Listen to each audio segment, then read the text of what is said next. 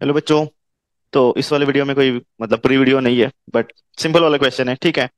Uh, तो it was asked in NEET 2016 let's read it if the velocity of particle is v that is what at bt square where a and b are the constants then the distance travelled by the that particle in between 1 second and 2 second ठीक है? तो ये थोड़ा मुझे instantaneous का लग रहा है okay as 1 second and 2 second इसके बीच का हमें डिस्टेंस पूछा तो क्या करेंगे? चलो डिस्टेंस पूछा है वेलोसिटी दिया है तो एक्चुअली वेलोसिटी क्या होता है velocity is nothing but dx by dt right change in displacement divided by change in time right okay तो what we need to find out that distance which means dx हमें वो small distance हमें find out करना है between one and two second मतलब सिर्फ़ एक second का तो dx क्या बनेगा यहाँ पर dx will be v dt right so v is already given so dx will be v how much it is at plus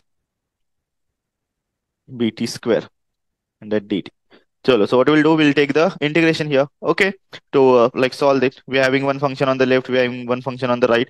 So just take a integration uh, of that dx of like between distance x2 to x1, okay.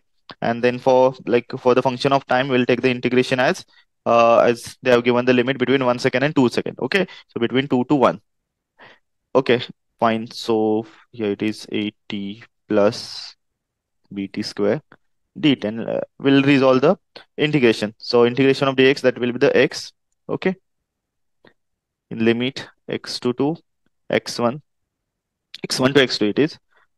Okay, then for that, uh, let's take separate integration for at and bt square. So a, as a is constant, okay, there will be the integration of uh, t dt and uh, how much it will be? It will be t n plus 1 which means 1 plus 1 2 t square divided by n plus 1 that is what?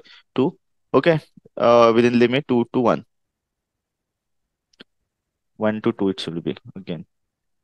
Then for the next one also will be b bracket. T n plus 1 n plus 1 2 plus 1 will be 3 t cube divided by 3 between 1 to 2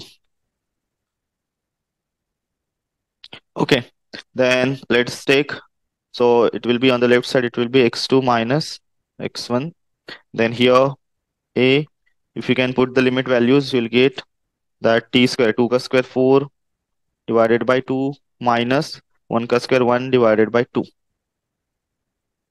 Okay, plus here b, then t cube, which means 2 ka cube 8 divided by 3 minus 1 divided by 3. All right, so it will be 4 minus 1 3 by 2 3 by 2 plus your b into 8 minus 1 7 by 3 so and that x2 minus x1 which means delta x right? Like change in displacement change in actually that position. So you'll get the 3 by 2a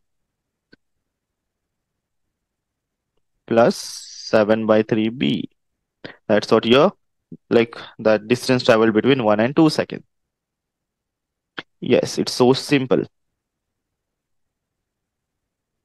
That's what our answer. Let's will finalize it. B1.